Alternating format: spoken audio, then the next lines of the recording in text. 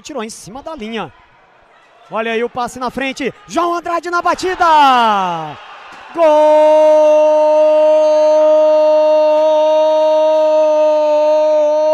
João Andrade! É do Marvel Inter. João Andrade, camisa 17, abre o marcador. E olha só que golaço, rapaz. A bola que saiu lá com o Rico Neves. A bola tocada de pé em pé. O Hugo Moura fez a virada de jogo, trabalhou com o Joãozinho. O passe na frente para o João Andrade. E aí ele, cara a cara com o goleiro, bateu forte, bateu firme. Um foguete no fundo da rede. E aí foi só correr para abraço. João Andrade, camisa 17, para fazer agora Marvel Inter 1 e Piranga 0. Arremesso de meta.